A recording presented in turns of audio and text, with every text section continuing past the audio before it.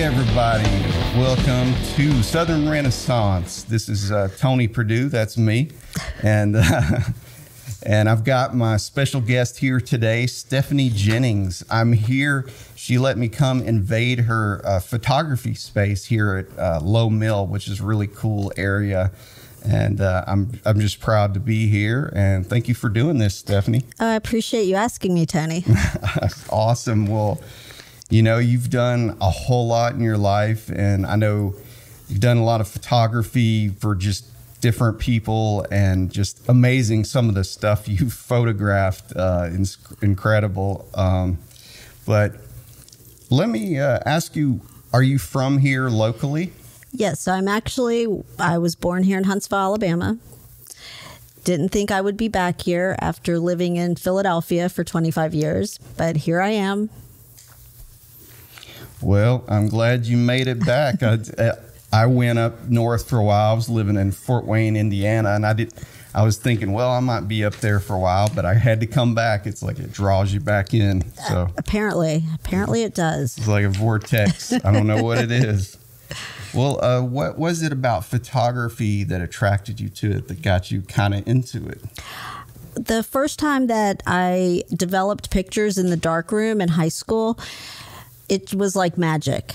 It was just pretty incredible that I imagined a picture in my head. I went and took it and then went in the dark room and did a process with all these chemicals and then watching exactly what I had imagined um, come up on on the sheet of photographic paper and it just was very exciting and I just fell in love with it.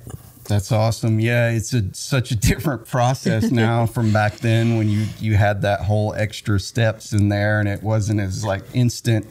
Now it's like I know I do it. I take a million photographs and pick out a vault, but you probably you were just more uh, specific, I guess, what you want. You knew what you wanted and went for it. Yeah, back in the day, um, every picture was you know specifically planned out and it was it was very different. Nowadays uh, you know you take 1200 pictures to get a couple. Back in the day it was you know 36 pictures on a roll and yeah. you got one.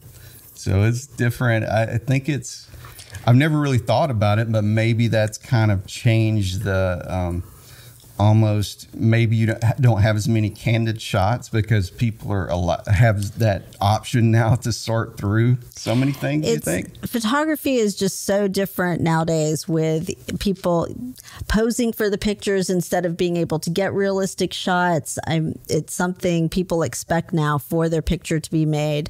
Um, it's it's definitely a different different process. And they expect you know a hundred pictures even though they might only want one and most people nowadays, they never print a picture. You know, all the pictures are digital. They're on their phone, they're on their computer. Um, people don't print pictures. And that's what my studio here, I have a dark room. Yeah. So that's one of my things is, you Very know, printing cool. from the old negatives. That's awesome. Yeah, I mean, you you tried to use the old ways of technology earlier before we got on here. I was doing some breakdancing moves, and you were trying to capture it, but I was just too fast, and it was like a fabric and time and space opened up, but you were just like, I just, I can't do it, Tony. You're just too good at yeah. breakdancing. None of that happened, by the way. so I'd like, I'd like that to happen. I think yeah. we might have to do that. Well, I can do some good popping and locking, but like those head spins and stuff, I probably would hurt myself pretty bad. Well, this is the perfect place. We can put out some cardboard for you to spin around on. Yeah, like these floors at uh, Lowe Mill, they're kind of oiled, right? So that maybe they make you like, it, maybe you would uh, spin too fast, though, like it would start like a like starting a fire with two pieces of wood. Don't want to start a fire here. See, Not in a photography studio. Oh yeah, that would be a bad idea. that would be a very bad idea. Now you see why I have this printed out because I'll go on a tangent without these. That's okay. I didn't expect anything less. That's right. I did not you know expect me pretty anything well less. already. My brain moves really strange ways. That's synapses and you know the neurons are just firing in all directions. That's okay. It's okay. But um, yeah, well, I tell you what, you've we were talking about your photography over the years. You've taken photographs of lots of rock stars. So that was my main focus back in the day in Philadelphia. I wanted to be a rock photographer, and I uh, just went for it. I had in college had taken pictures at the fraternity parties, the Black Crowes, Ten Thousand Maniacs, REM, um, played on campus, and I had taken their pictures, and it was just something I really wanted to pursue. So when I went to Philly, and all these bands were around. Um, there was so much going on. I just started taking pictures for um, a local magazine and pretty soon, um, you know, I had a portfolio and I was able to take it to the radio stations, to the record companies, to an agency in New York, um, to the metal magazines in New York. And started getting published and got an agency representing me and just started doing the MTV Awards, the Grammys, all the things. That's so awesome. Yeah, I've seen the pic the pics and I'm just like, wow, you've posted a lot of you've shot a lot of people. I mean, uh, just I mean, I can't even name off of them because I've seen a lot of your just what you've posted on like the internet, and it's crazy the amount of people, especially for I guess the time period there at MTV. Mm-hmm. There were a lot yeah. of like you, the artist awards, I guess, like mm-hmm. you say. Yeah, you said the, you worked at the Grammys too. Mm-hmm, the Grammys, wow. yeah, the MTV Awards, the MTV Movie Awards.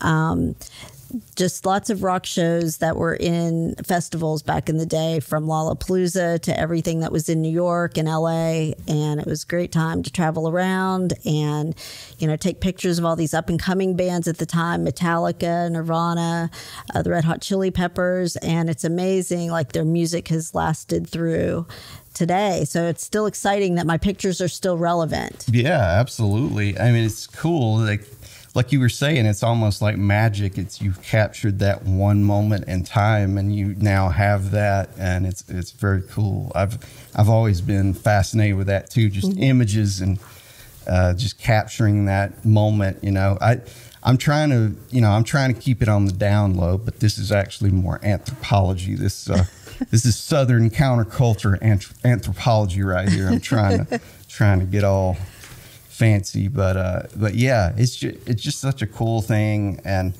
it, I know it, then the same with music with digital things now. It's easy to take for granted what we can do with it. It's just so easy to take a billion pics or uh, find any pic now and uh, or music or whatever. But it's just a uh, cool thing. There's the composition and just uh, you know there's there's art to it, but there's also it's you're documenting something, so it's like there's different things going on. I it's, don't know interesting to try and explain to someone um, about let's let's say this photo right here of um, Anthony Kiedis with the Red Hot Chili Peppers that you know I had to get a photo pass and I had to get you know permission to to go and photograph him and be in the front row. And there weren't many other photographers. And you know taking the the film home and going into my darkroom at my house and developing it that night printing the pictures that night to get get them to the newspapers and magazines the next day. Oh, yeah. Um, you know, that was a whole process, which, you know, explaining that to somebody nowadays, it's, it's, um, it's a lost art because yeah. nowadays, you know, people don't understand like what it took to get that picture. They think I saw, um, you know, I had somebody talk about one of my pictures of Cindy Crawford. They thought I must have seen her just walking along the street and took the picture with my cell phone. And that's how it came about. And it's like I was the red carpet carpet photographer, you yeah. know, um, at an event. And, you know, she posed specifically for that picture. And then I had to go home and develop it and yeah. get it out to the magazines. Um, you know, it wasn't where you could just, you know, went through the internet and ended up mm-hmm. online. It was something like uh, tangible that, and you actually had to make happen you had to run it through the juices and whatnot. and whatnot. I don't want to get too technical, but the juices and whatnot, that's how they pretend like I know what I'm talking about.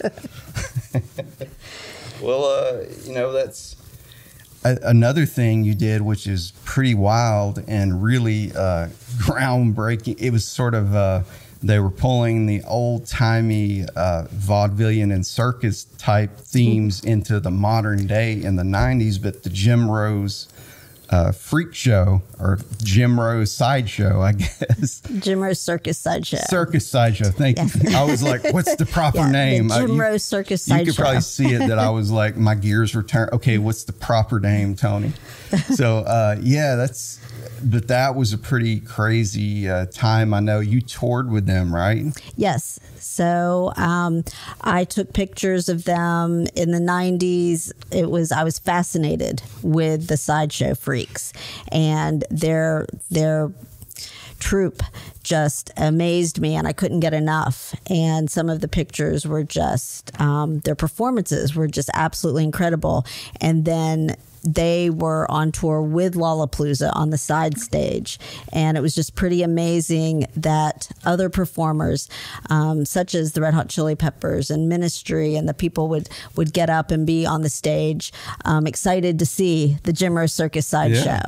So, and and nowadays, um, bringing it all back around, I've been photographing the same performers from the original Jim Rose Circus sideshow, um, and all of those photos, the old photos went into a new documentary called The Circus of the Scars, although the book was written in the 90s that it's based on.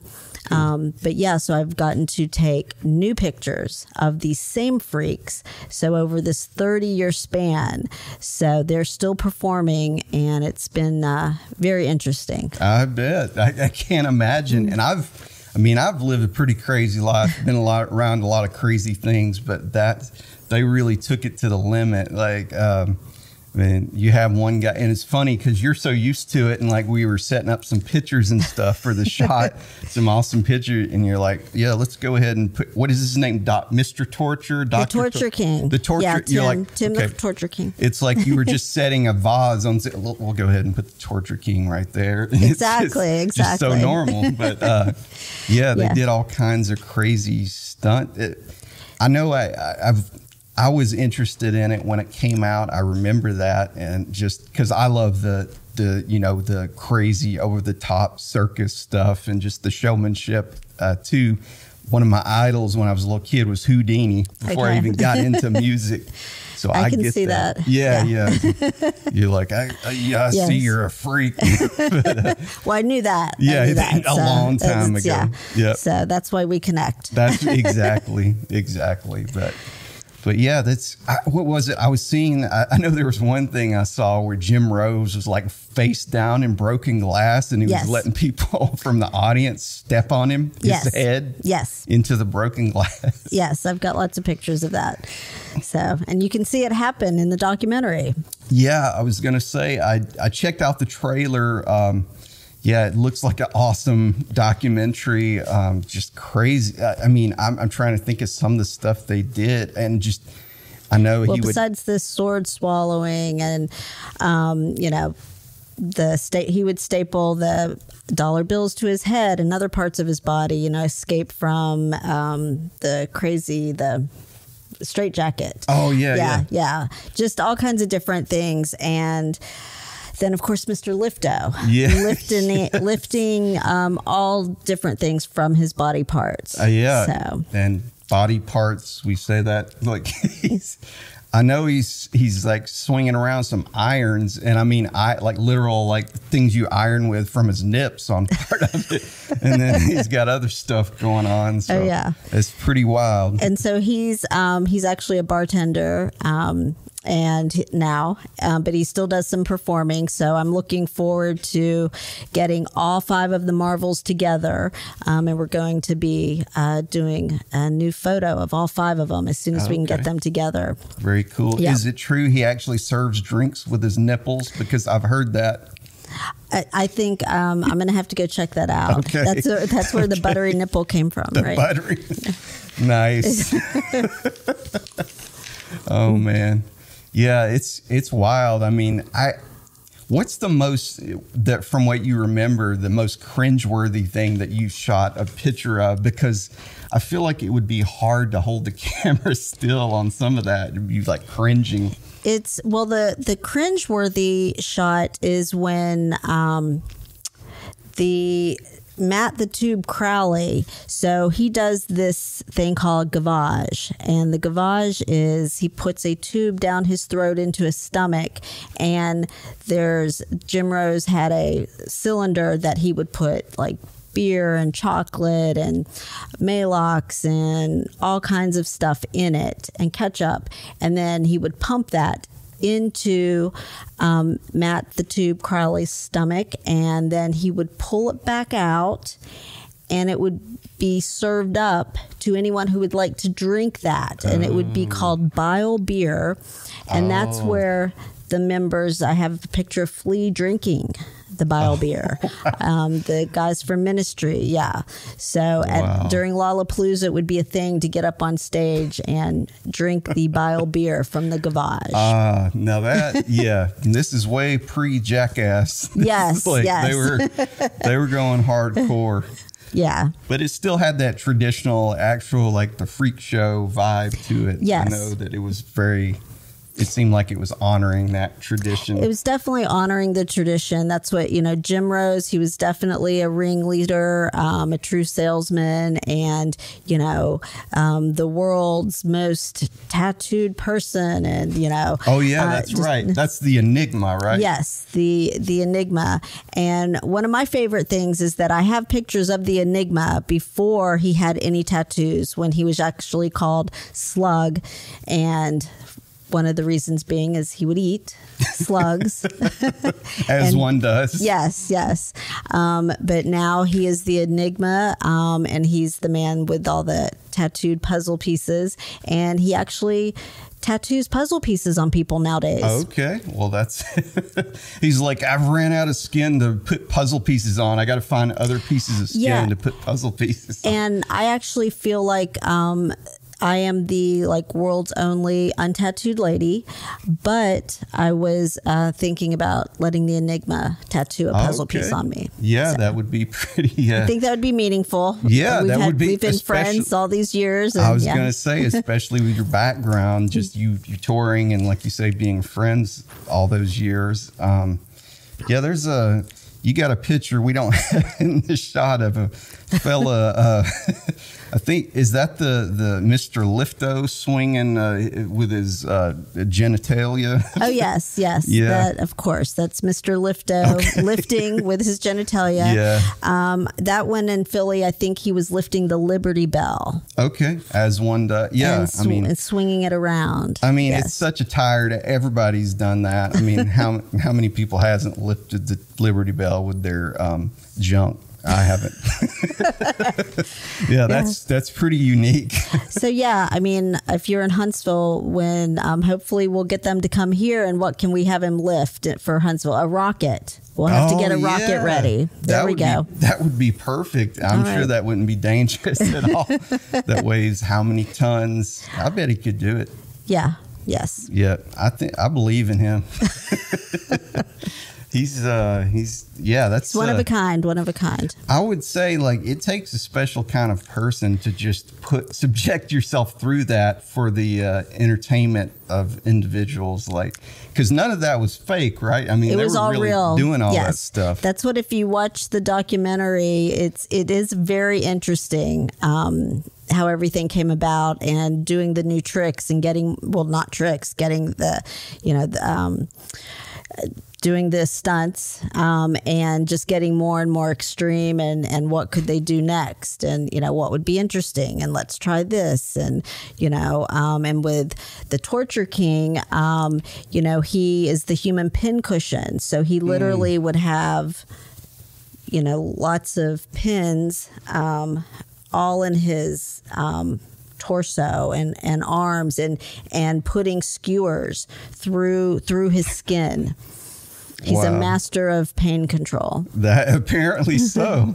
and I've heard, I've actually heard of, um, I don't know if it's uh, monks or certain way, like you can block it out somehow Mm-hmm. if you have enough control, I guess, over your um, Mind control. mind control. Mm-hmm. Yeah.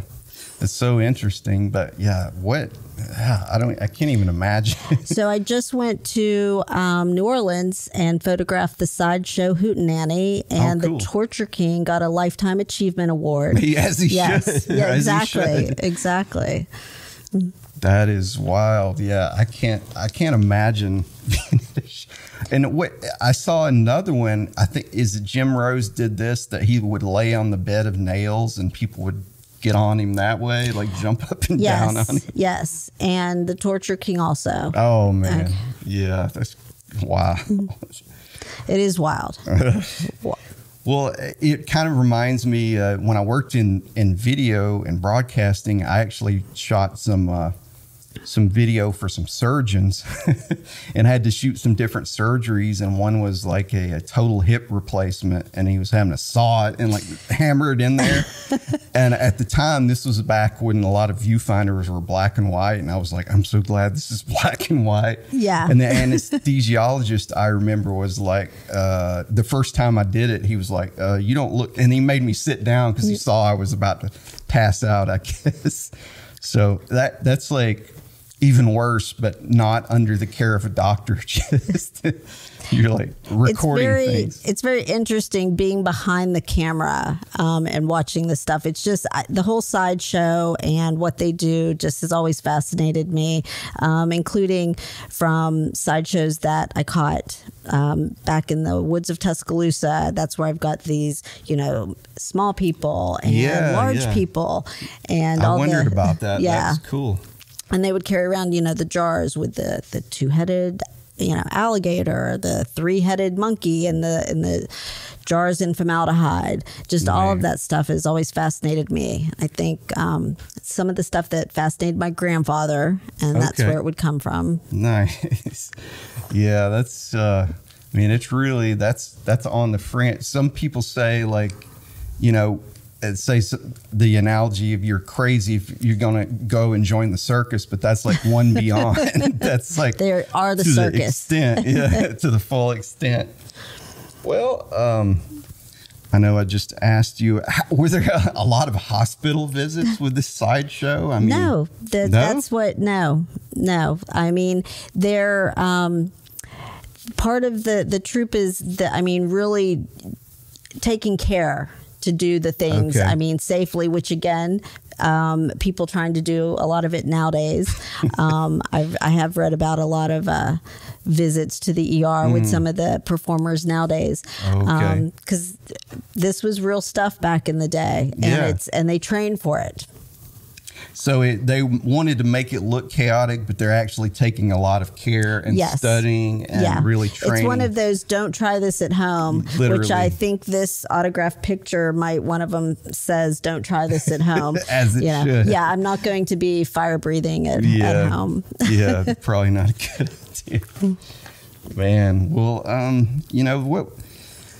What was the? Uh, you've got the Oh, I was going to say you've got the photography exhibit here at your studio during the month of October. If anybody's listening to this before then, should come by and check it out. You've you've got all your yes. we've got so a few in since here. it is October, it is Halloween. I always put my freak show photos up.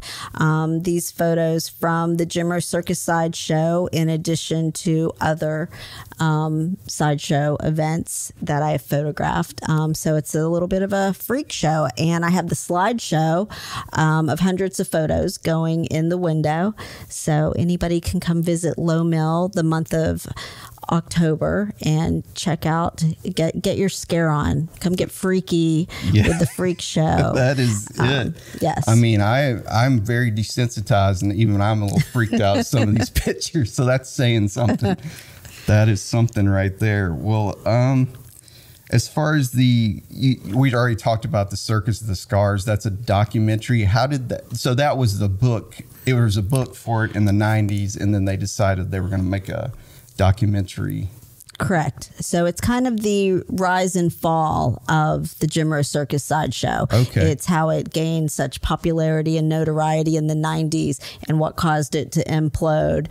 And um, because Jim Rose does did and still does have a huge ego uh. um, and so and now with um, and it shows the performers where they are nowadays and part of it and my pictures they contacted me and i had all these amazing pictures from photographing um, so often back in the 90s and they used my pictures in the documentary That's awesome. yes and so hopefully the documentary um, circus of the scars we will be bringing it to Lowe Mill and getting some of the performers to come that would Yeah. That be would be so cool. yes I'm gonna have to come check it out. yeah Get so that we'll try and make that happen going. Yeah, that would be awesome.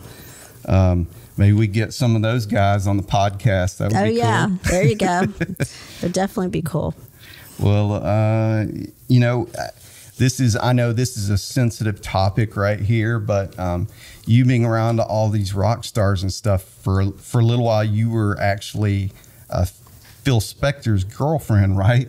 oh yeah So that was, uh, that was the 90s was time. a wild time yeah, for me sounds like it. sounds like it. Um, so I know that had to have been crazy. Um, how did that come about? You just, I guess you meet him because like common people that Yeah, I met Phil um, when I was photographing an event in Philadelphia, um, the uh, Philadelphia, one of the music events, and he was the keynote speaker.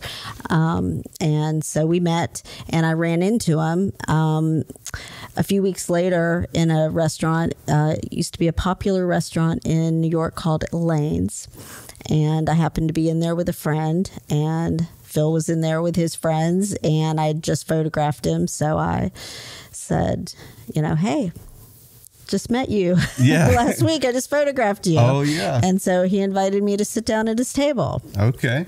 And the rest is literally history because it's all in a documentary called Yeah. Spector on Showtime. That's right. And you're in episode three, right? I am. So, yeah, it's a very uh, it's it's interesting. It's kind of I've just thought about this, you know, because I he put out a lot of uh, good music. Some of the stuff he produced with John Lennon and "Be My Baby," one of the best tracks ever, and just a lot of different things. But you kind of you realize, well, just because someone's art good, art is good, doesn't mean they're great people. You know, that's there's a sort of a thing there that's I hard mean, to. Yeah, a lot of artists, um, it seems like, have um, not only chemical dependency issues, Oh, yeah. alcohol issues, but also just um, mental health issues. Sure. So, and back in the day, that wasn't really something that was discussed. Mental health issues um, didn't seem to, nobody ever talked about it.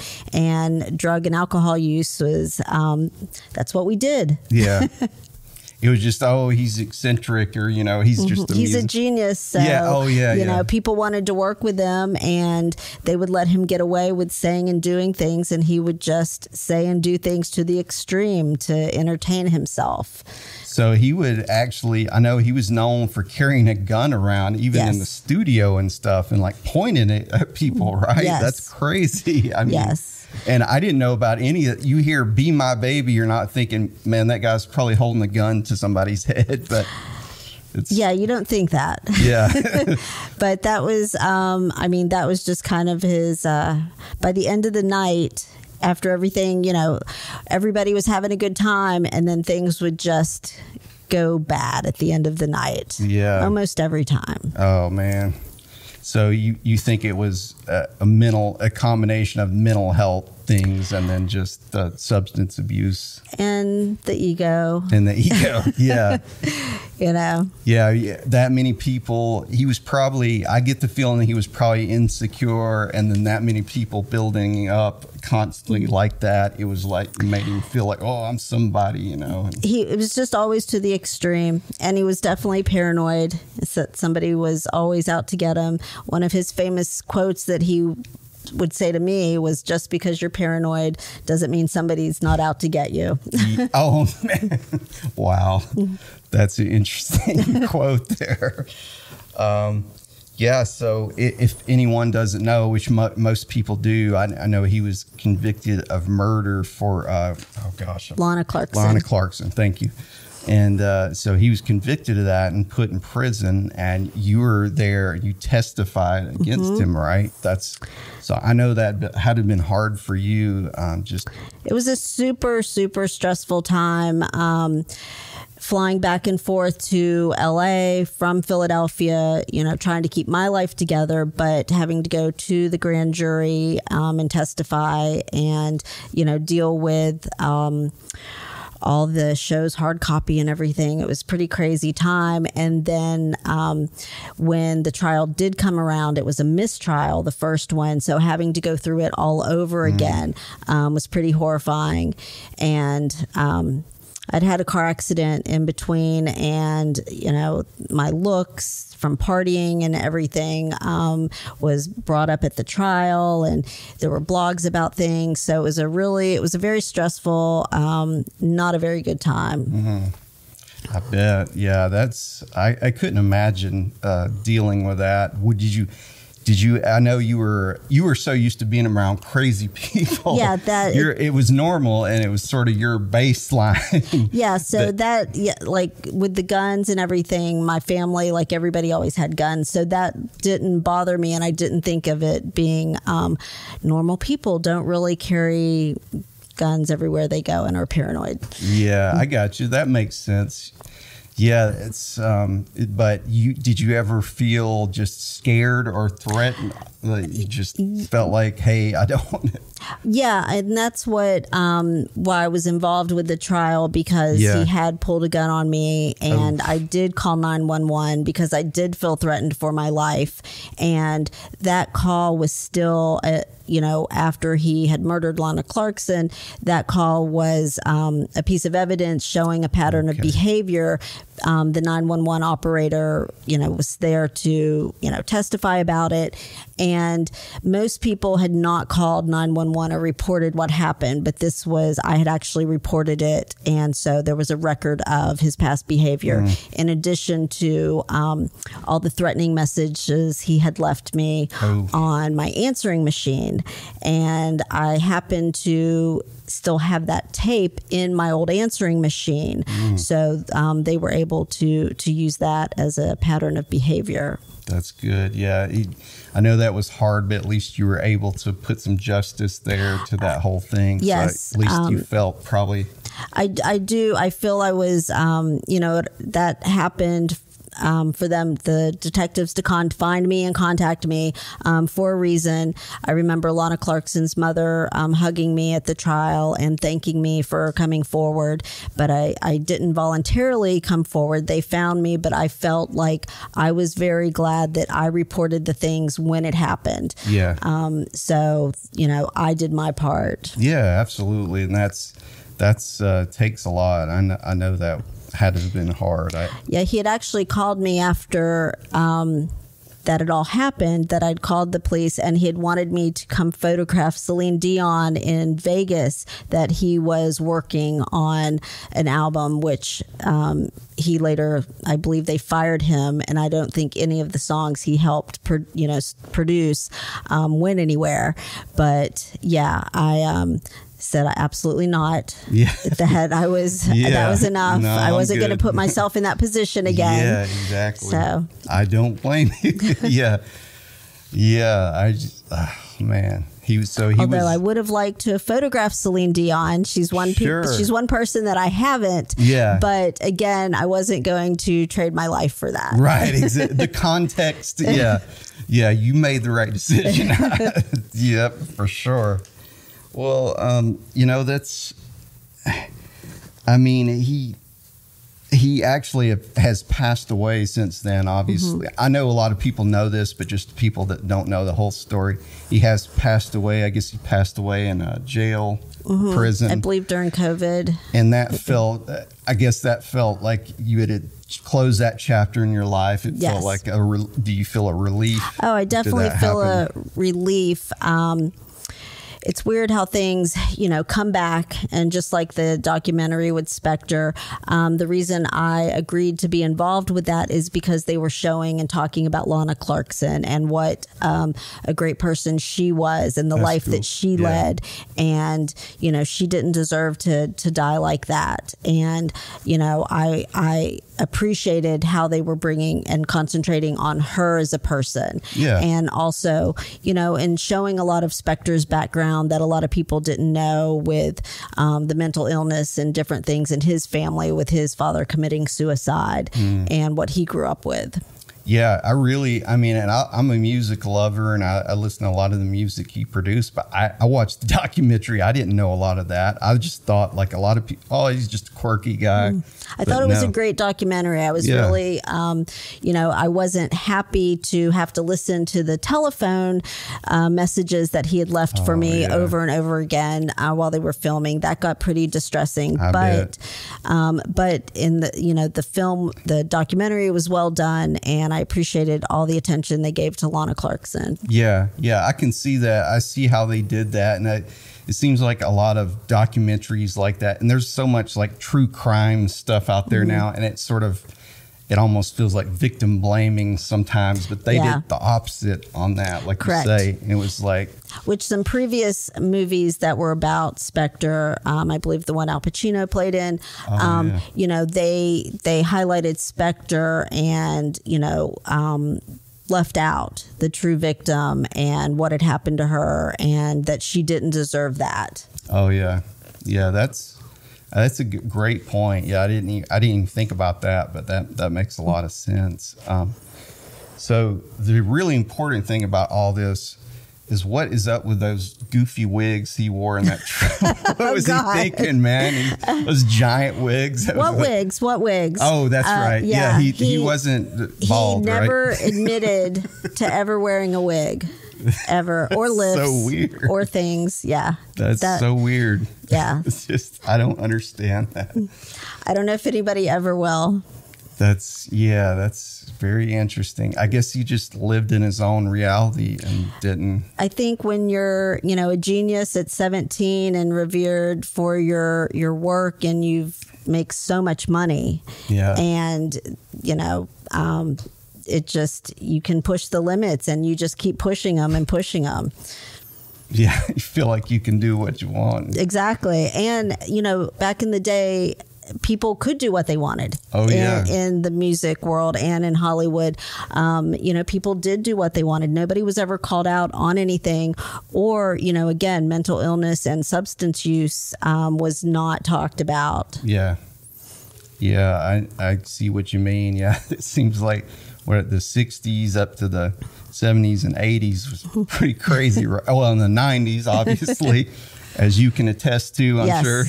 yes. What a long, strange trip it's been. yeah, Right. exactly. That's, oh man. I, I mean, I, my life has been pretty wild, but that is, yeah, you, Mm-hmm. you've lived a, a full life. That is for sure. Well, um, Let's see. I asked you about the goofy wigs.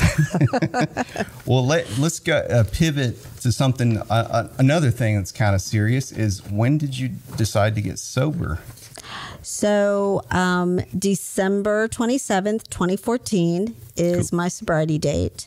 And so that's eight and a half years ago. And, um, you know, it it kind of I couldn't continue to live a crazy lifestyle. Yep. Um, my mental health, uh, my physical health, um, I was just not doing well, and you know. A lot of it could have been contributed to some of these, you know, factors of being, you know, so stressed out over the trial situations and different things happened, you know, that, um, I mean, I was part of all of it. Yeah. You know, I understand. well, I, I think we share that in common because in 2014 was when I got sober. It was Okay. like August uh, 20, uh, 2014. That's when I started getting sober. But as far as me, it feels like, like you say, it's it's sort of like I was self medicating. There was some trauma there, and once I got to the root of that, that's how I was able to you know it but you have to make that decision for yourself ultimately and it's it's hard but but the cool thing is and the great thing is and it's you know all this stuff happened but you're a survivor you've been through all that stuff and now you're helping out other people help them get sober and you're you're helping with this uh, tell me about the the house So um, it's called Best Life Recovery, and it's a women's sober living home here in Huntsville. And so there is eight women at a time.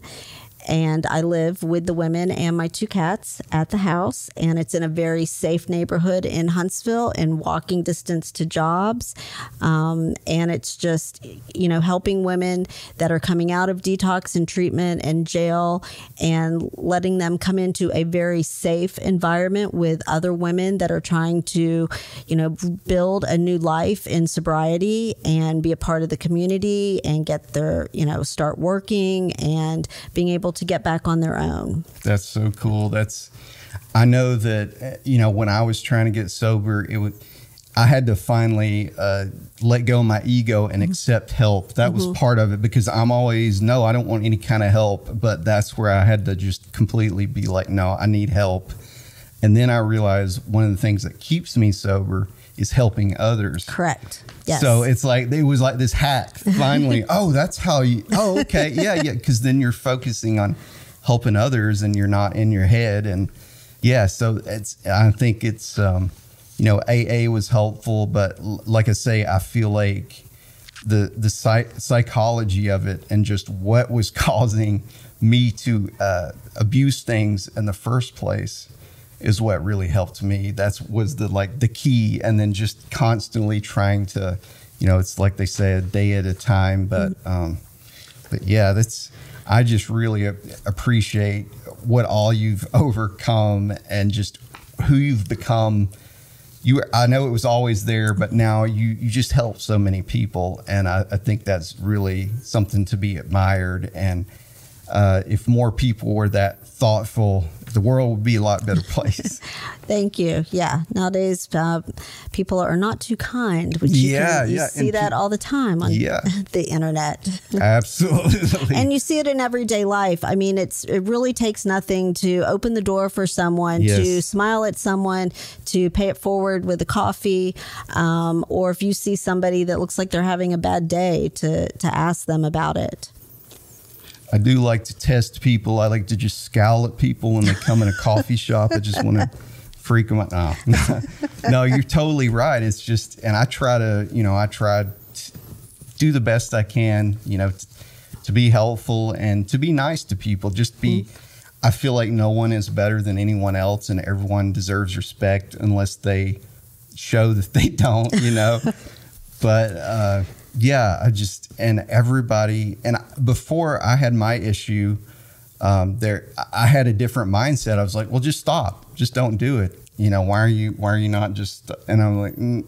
It's Then I not was that like, easy. no, it's, it's not, not that, easy to just stop. works. And it's also dangerous. And Yeah, you know, exactly. once your brain becomes addicted to certain substances, you cannot stop on your own. You do need medical help. Yes. So, and for me, I was told um, that I was just, you know, um, self medicating Mm-hmm. also. So I was like, oh, that's all it is. I'm just self medicating. Yeah. Um, but once, you know, I just could not seem to function and it wasn't fun anymore. Yeah. Um, I, you know, sought out um, actually going to a meeting, you know, was where I started. Um, and I have to say, you know, working the 12 steps. I mean, everybody Yeah. could use the 12 steps. It's Oh, just a good way to live life as the 12 steps. Yeah, I think it, I think it is a good. Uh, it just simplifies things as far as is just gives you a systematic way of thinking in a non-toxic kind of way. So I think it is very good. and also accepting responsibility for your behavior. You Yeah. know, just because I did have trauma in my past doesn't mean um, I have to continue to abuse myself or others. Yeah. Um, you know, my my part in that would be continuing to relive the trauma instead of getting to the root of it and getting through it and over it. I mean, it wasn't my fault things that happened to me when I was young, um, but it's up to me to want to live a better life. And if I stay in that self pity mode, um, then that's never going to happen. Yeah. And so, uh, you know, accepting that. Um, for me, you know, if you want to look at it in terms of like I'm allergic to alcohol, Yeah. um, as Oh, yeah. you know, as some people would like to say, every time they do a drug, they break out in handcuffs. Oh yeah, I've heard that Um, one. yeah. Yep. But that so, you know, I do not react normally to, you know, alcohol or drugs like other people. Um, kind of like if somebody's allergic to strawberries. Yeah. Um, and so, you know, that I have to figure out a way to live my life without that. And in today's world, I mean, alcohol is so acceptable. You you drink alcohol to celebrate. You drink alcohol to, you know, if you're sad, Yeah. if you're happy.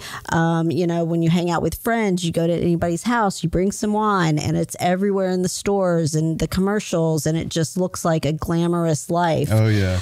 And that's what everybody thinks instead Mm-hmm. of normalizing like alcohol is a poison. And, Yeah. you know, if um, you don't do it in moderation, the things that can happen. And I don't know a lot of people that, you know, normally do it in moderation. Yeah, I can't. I mean, I can't think of many.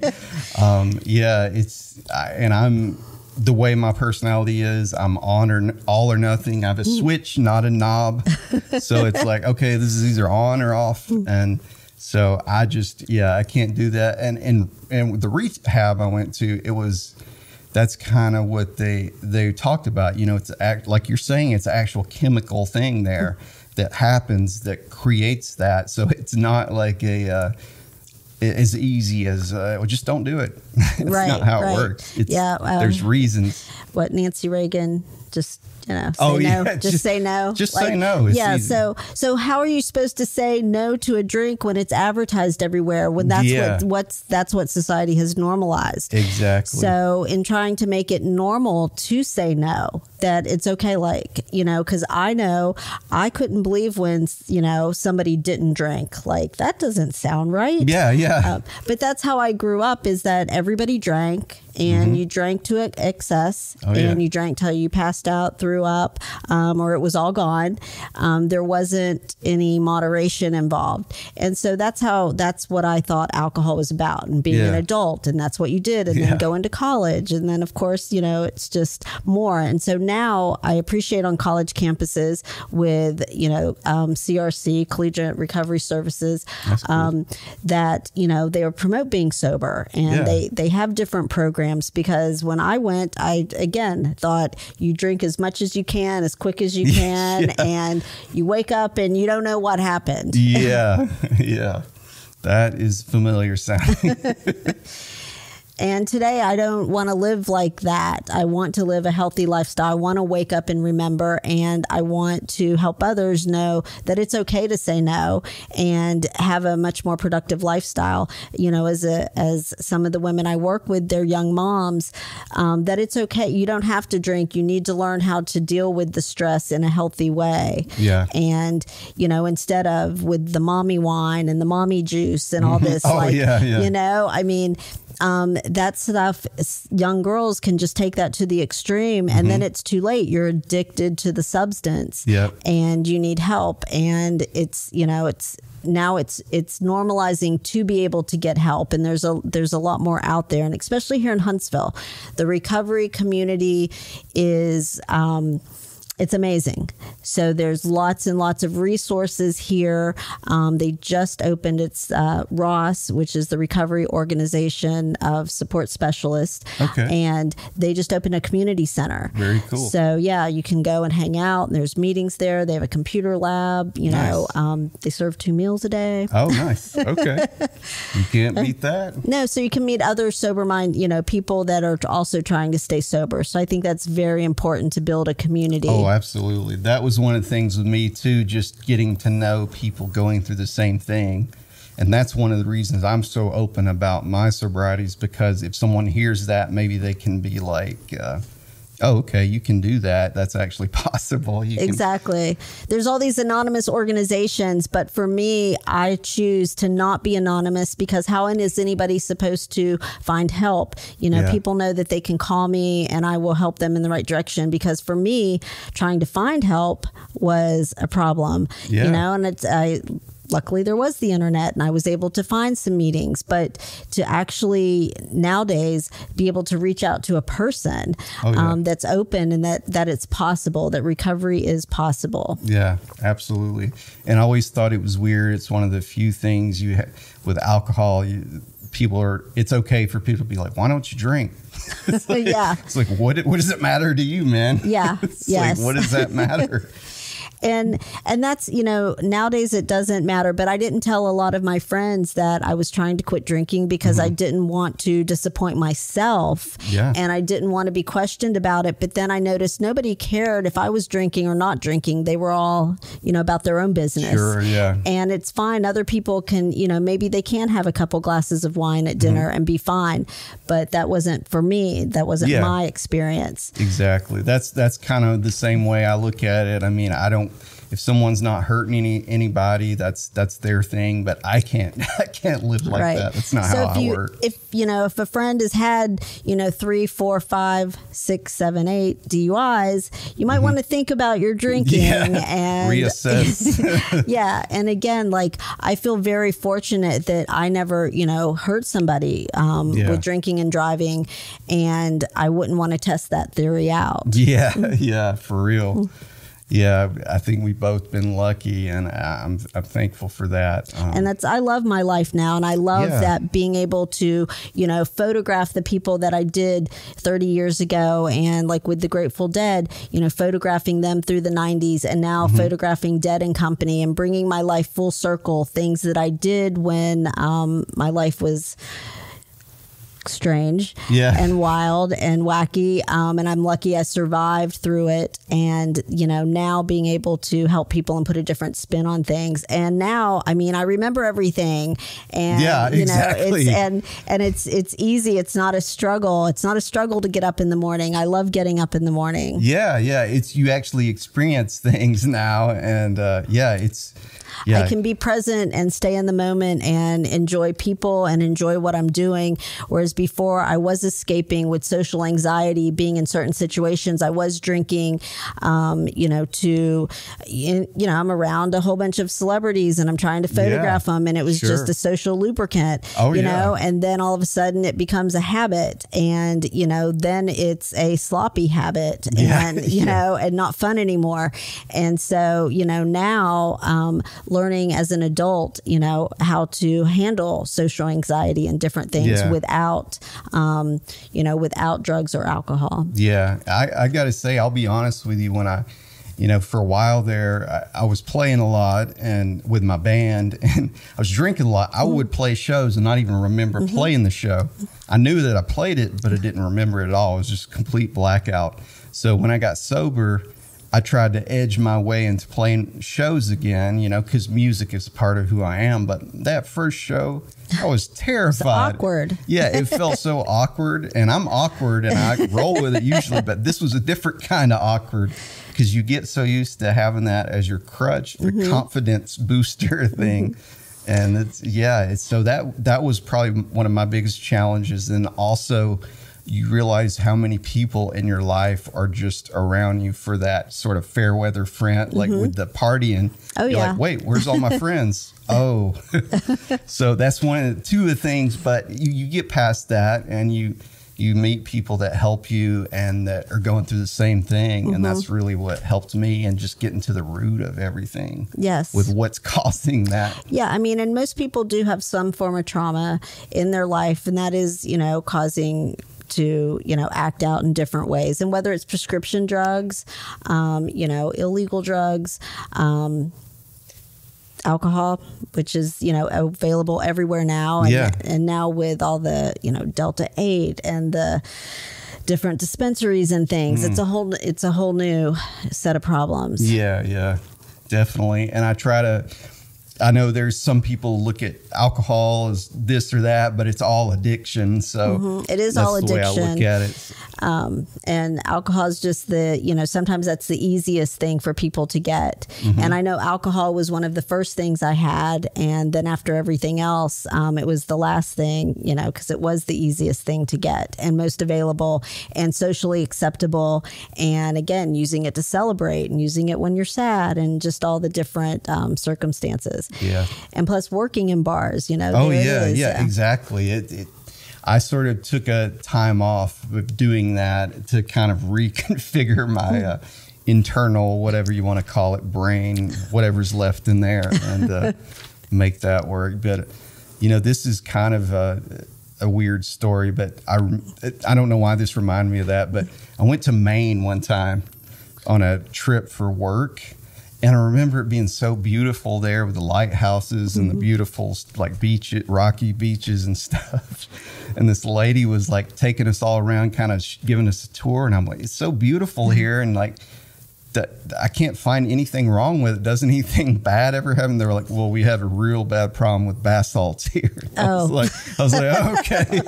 Didn't that's the last thing I expected to hear. So I was just that that was Well- funny, but also tragic. But yeah, kinda- like the drugs are everywhere, but it's these things that um, kids get addicted to or cause, you know, um, irreversible damage, whether it's having an accident, you know, hurting themselves Oh, or yeah. someone else for things, this bath salts, um, you know, and different kind of gas station pills and, and Mm-hmm. Yeah. these Delta 8 pins and things that people really think are, you know, not going to harm them. Yeah, because they sort of a lot of those uh, places. I know they sort of just try to skirt the law just enough to get Mm-hmm. Yep. it out there, and then they're still dangerous. Yeah, so it's a little. Um, that is one thing here in Huntsville is these gas stations. I find it a little frustrating um, that the, all these things that they sell to you know young people and the people don't realize how addictive certain things are. Yeah, I could see that. Yeah, that that is that is uh, dangerous. I, I, you know, I've been sober for a while, but it seems like that's so common now. Like you say, it's more and more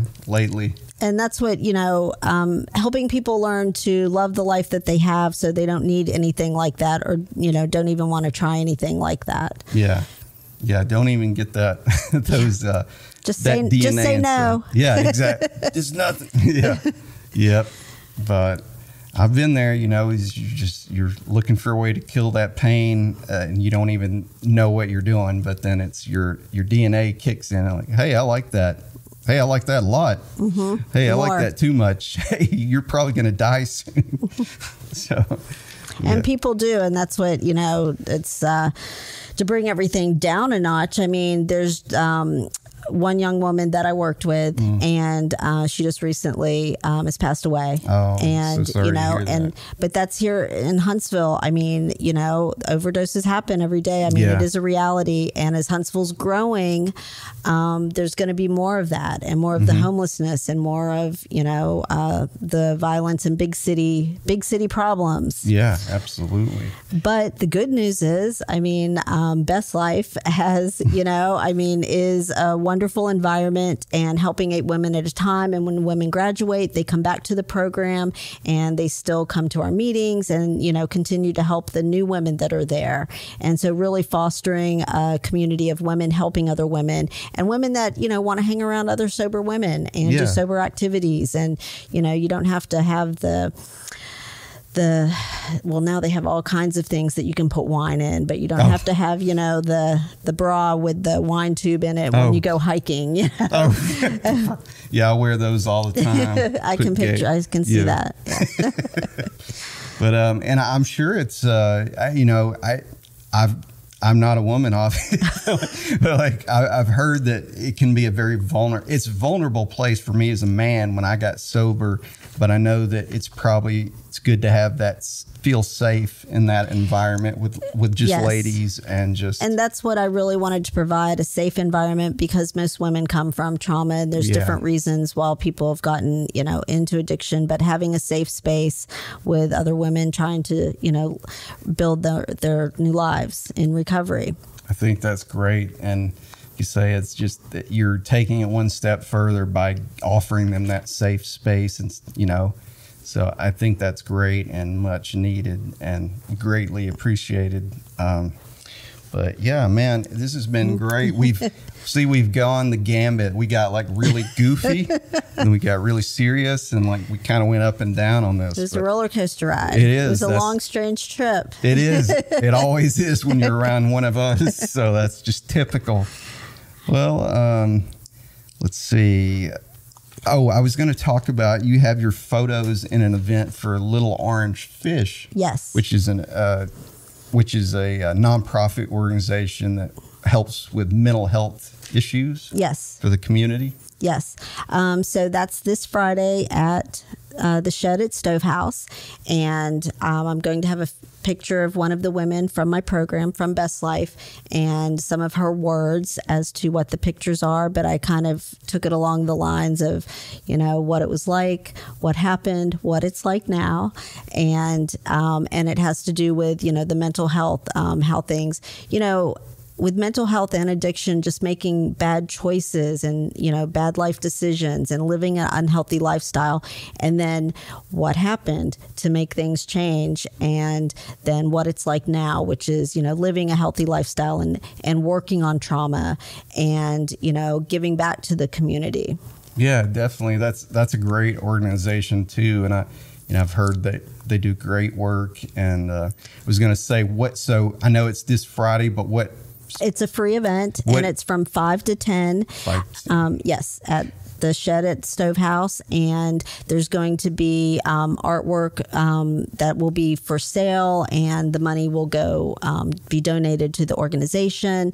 The um, Inside Out Studio artist, which is also here at Lowe Mill, cool. they're going to have work there, and there's going to be musicians, and there will be food, and nice. it'll be um, just a, a, great event to come support. Um, you know, uh, Daniel, who has Little Orange Fish, support the community community. That's great. Um, what? Let's see. I know it's Friday. What specific date is that? I, I could look at my calendar. I think it's the twentieth. Twenty. Okay. The twentieth. So because, this probably because won't Microwave Dave Day is on oh, the twenty second. Yeah. Our so buddy, everybody's Sunday. buddy, yeah. Microwave yes. Dave. And I will be photographing the event. Oh, nice. So There's another for yeah. for several years in a row now. I've been the photographer, and so I'm very excited. That's awesome. And I got to get Dave on here too. Yes. I've been meaning to do that. He's such a cool guy. And this is where like all the women from the house will be volunteering. And again, you can go to events and do things, and you can do it um, clean and sober. That's awesome. I love it. I'm all about it.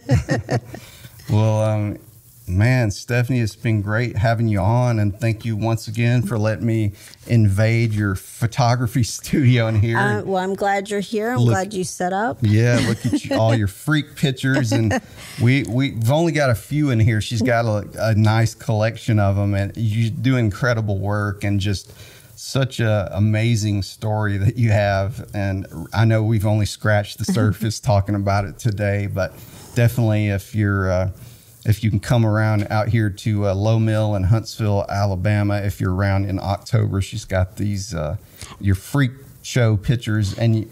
Not just the Jim Rose sideshow, but also some other. You said this was in Tuscaloosa. Oh yeah, some, some, of them are for Tuscaloosa. Some of them are from other real sideshows when wow. they used to tour um, okay. with fairs back in the day. Um, but also, I will continuously have um, different exhibits up cool. with the music and with local and national artists, and awesome. things will be for sale for the holidays, November and December. And there's just a lot going on at the mill. But for October, it is the Freak Festival here. Um, it's you know Halloween, That's so right. got to get those freaks out. You got to. Goes without saying. well, is there a certain way if if someone wants to find out more about uh, your photography studio, or you know the the uh, Best Life. Best Life. Thank you. you, um, you know what I'm thinking. Yes, yes. So for my photography, um, SEJ Photo Alabama on Instagram and Facebook, and I'm pretty, um, you know, out loud and um, about my recovery. So you can find there's Best Life Recovery um, on Facebook and on Instagram, and you can call me personally. Um, my profile's public, and you can even find me, you know, at Lowe Mill Studio Studio 2018. And, um, you know, I'm here when Lowe Mill's open. And if I'm not because I'm out shooting, you can put a note on the door. But I am, you know, I'm always open to anybody contacting me um, through Facebook um, or they can call me. My number's all over Facebook. That's awesome. Yeah, I really. I really appreciate how open you are about that, and I know I know you like I say before, you've helped a lot of people, so it's very Thank you.